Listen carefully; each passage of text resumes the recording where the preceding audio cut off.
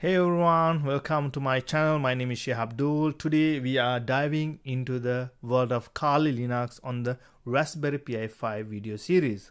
Kali Linux, as you know, is a security focused operating system packed with ethical hacking and penetration testing tools. And the Raspberry Pi 5 is a powerful yet compact single board computer that is perfect for running it. In this video, we will walk you through the entire process of installing Kali Linux on the Raspberry Pi 5 from downloading the image to configure system. This video will be the first video for our ethical hacking with Kali Linux educational tutorial and I will be uploading each week ethical hacking tools to use with Raspberry Pi 5. So whether you are seasoned security professional or just curious about the world of ethical hacking, buckle up and get ready to unleash the power of Kali Linux on your Raspberry Pi 5. First thing first, we need to download the Raspberry Pi Imager. This tool make it super easy to install different operating system on your Raspberry Pi 5. I just brought the Raspberry Pi Imager OS site. So we're going to head out to the official Raspberry Pi website. I have put link in the description field and download the image for your operating system. You can see download for Windows, download for Mac OS, download for Ubuntu Linux. I am going to use Windows, so I'm going to use the for Windows. You can see it's downloading, it take few minutes, and after that we're going to open and we're going to set it up. Okay, after downloading, let's install the image It's a straightforward process. Just follow the on-screen instructions. Once installed, we can open the Imager. First, click Install. You can see it's installing. It's very straightforward, uh, very quick. And after that, it says Run Raspberry Pi Imager. I'm going to click Finish. I'm going to bring up the Imager. Okay, let's jump into the Kali Linux image to download for our Raspberry Pi 5. I'm going to bring up the kali.org official website. You can see if you go to kali.org and you will see from the first page you will see a download button. Click download. If you don't have the link, I'm going to put on my YouTube description field for the for your uh, for easy, so you can download directly. I'm going to use the dark mode. I like the dark mode. And you can see install images virtual machines. Uh, we're going to use the install images. Okay. And also they have options called ARM mobile and cloud because we're going to use the use the Raspberry Pi image is under ARM I'm going to click ARM under the ARM you can see Raspberry Pi. There's a lot of versions. This is for Raspberry Pi uh, version for 32 bit and this is for uh, version 2 and 4 uh, I mean version 1 2 3 4 and 464 bit. And you can see Raspberry Pi 5 64 bit. So Raspberry Pi 5 is coming with only 64 bit which I have the latest version. It doesn't matter the size of your RAM but Kali Linux recommend at least 4 GB if you have 8 GB is good. And there's a two option you can uh, directly download or you can use the torrent download. So we're going to use the direct download. If you have torrent you can use the torrent. So torrent uh, if your connection is very slow because this is a 3 GB file so if your connection is slow uh, you can use torrent to uh, pause and uh, resume whenever you want because sometimes your internet is going to be very slow or maybe your part you are in a different part of the world and the internet going to be slow. I'm in the US so my connection is fast so I'm going to use the direct download button. You can see it just hit here and you can see it's downloading and take some time depending on your internet speed. For me at least take probably 20 minutes to finish this download. Okay we are down uh, done downloading. Now we're going to open the raspberry pi imager and i'm going to use the raspberry pi device. I'm going to choose raspberry pi 5 the operating system. I'm going to use the custom all the way down and the download I'm going to use the one I just download 3 GB this is the file I download. Click open. And let's choose the storage 127 GB and say would you like to apply OS customized settings? I'm going to say no. Actually this only good for the Raspberry Pi OS not for the Kali Linux so I'm going to say no uh, probably you will don't get this option because probably you don't have the settings configured. And I already configured settings uh, so I'm not going to apply for the Kali Linux. And after that it says all existing data on the mass storage will be erased. Are you too sure? I'm going to say yes.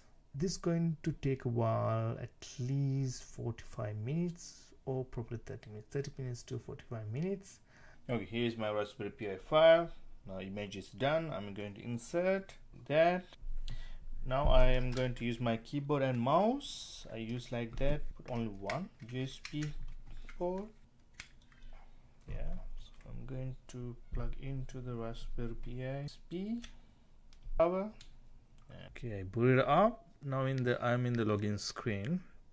Um, so setting up a new installation of Kali Linux on Raspberry Pi involves several best practice to ensure security, functionality, and performance.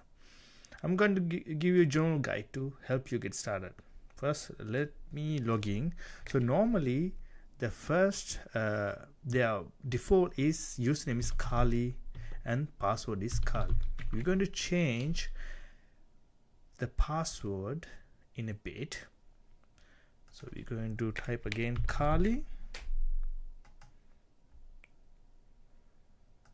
Okay. So this is your the first time I'm go you're going to see the the desktop.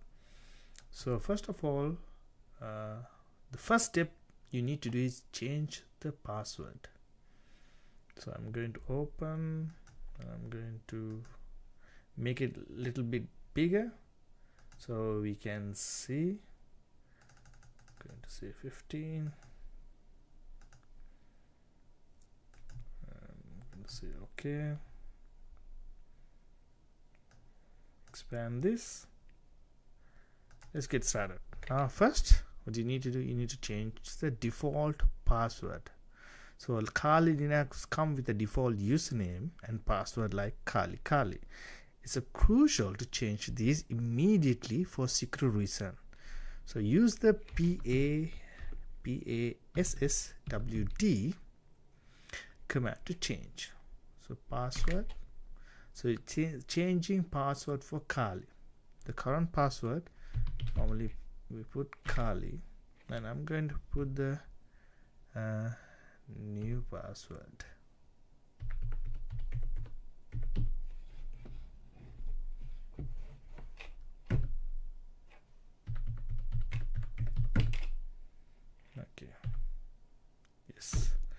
Okay I ch uh, successfully changed the uh, password. Now next is update and upgrade the system. So after the first boot connect your raspberry pi to the internet. So i uh, connect my wi-fi. You can see i connect to my wi-fi. Um, so once we connect to the wi-fi open a terminal and run sudo apt update okay next we're going to run sudo apt. Going to use full upgrade.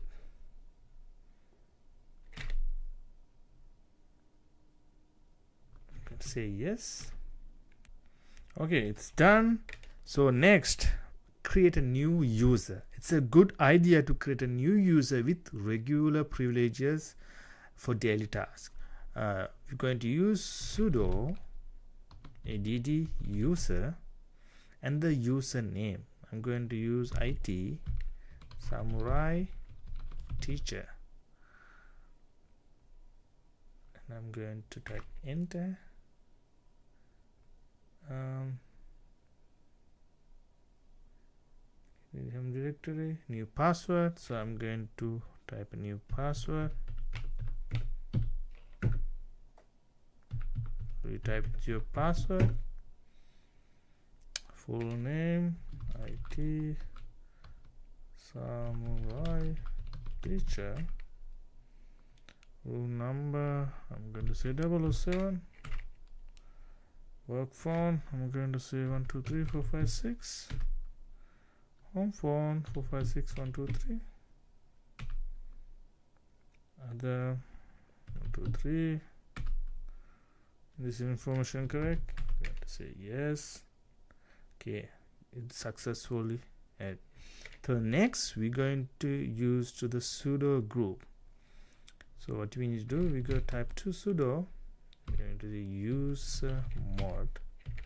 Let's say a g sudo this is the sudo group.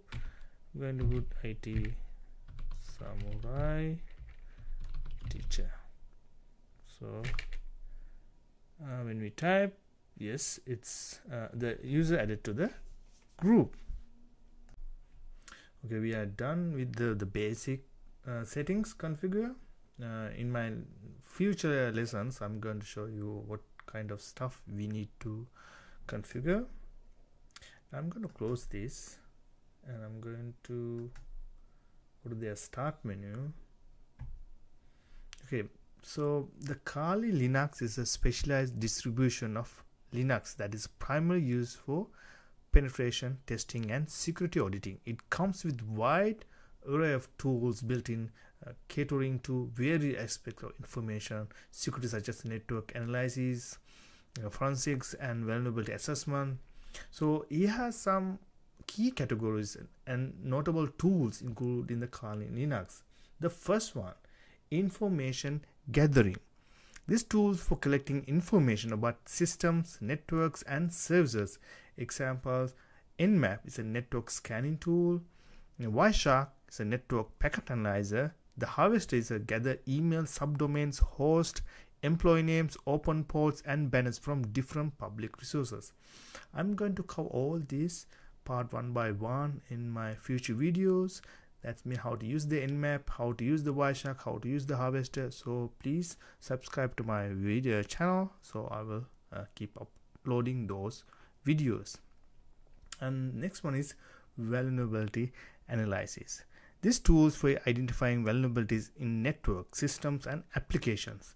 Like example, uh, NIKTO is a web server scanner. OpenVAS is a vulnerability scanner and manager. And next one is web application analysis. This tool specially click there. So this tool specially designed for attacking and analyzing web applications. Example, Burp Suite integrated platform for performing security testing of web applications, SQL, M SQL Map is automated SQL injection and database takeover tool. The fourth one is the database assessment. So this tool to access and exploit vulnerabilities in database systems. So example, uh, SQL Map as I mentioned above, and uh, you can see uh, JSQL injection, uh, automated SQL in injection tool, and password attacks. Number five. So these tools for testing the strength of password and recovering them. Example, John the Ripper password cracking tool, Hydra fast network, logon cracker. And we're going to uh, number six, uh, wire wireless attacks. Uh, so these tools for testing the security of wireless networks. Example, Aircrack NG suite for accessing the Wi-Fi network security uh, tool for performing attacks against WPS. Number seven, reverse engineering. These tools for analyzing and reverse engineering binaries and software. Example GDB, the GNU project debugger. Uh, Radar 2, a portable reversing framework. Number 8, exploitation tools. Tools that are used to exploit known vulnerabilities. Um, example Metasploit framework, advanced open source platform for developing, testing, and using exploit code.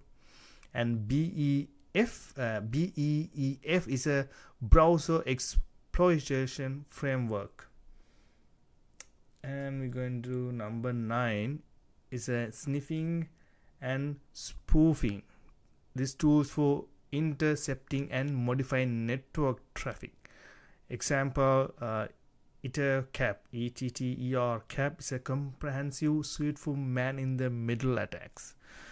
Uh, I believe you guys uh, hear a lot of about this man-in-the-middle attack stuff. And the other one is Wireshark, uh, as I mentioned above.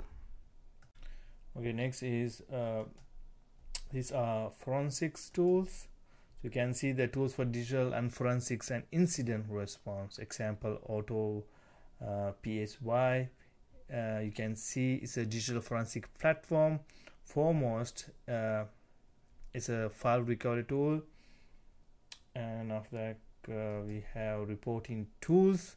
So you can see tools that help in general reports for analysis presentation um, you know like for the test like examples uh, FARDA start uh, penetration test and vulnerability management platform uh, DRA uh, DIAs uh, there's another tool called uh, collaboration and reporting tool for security professionals. So Kali Linux extension toolsets so this is uh, so, so social engineering tools there's a lot of tools. Even not here we can install uh, so there's a lot of tools we can learn. We can do a lot of things for cybersecurity. Uh, it's not only hacking that's mean if you want to if someone want to be a hacker that's mean they want to learn the cyber security and prevent who try to cyber uh, like attack. So like us we do is uh, learning the ethical hacking how to hack that's maybe not going to hack we want to learn how to hack so that why we can stop the hackers because we know because we we, we can get those knowledge like a think like a hacker. So that's the uh, main goal. We want to stop all this uh, cyber attacking uh, ethical hacking or black hat uh, we can stop this stuff because we we also want to learn these tools so Kali Linux's extensive tool sets combined with its customizable and Linux foundation makes a powerful platform for security professional however it is important to use these tools responsibly and legally as many of them can be used for malicious purposes if misused. Remember that. Okay that's all for this video. I'm going to create more videos about how to use these tools uh, and there's a lot of things we need to do uh, build the ethical hacking system. So we as a cybersecurity professional we can use these all these tools to use for daily task. So stay tuned uh, subscribe to my channel and we will see you on my next videos. Thank you